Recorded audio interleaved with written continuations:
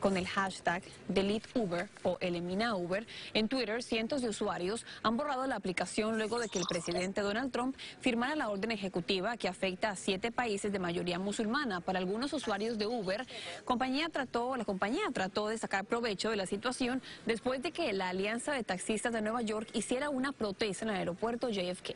Bueno, Uber bajó los precios y siguió ofreciendo su servicio mientras los conductores de taxis amarillos estaban expresando su apoyo a los refugiados. Pero sin embargo, la empresa Uber, me quiero, quiero decir, se disculpó.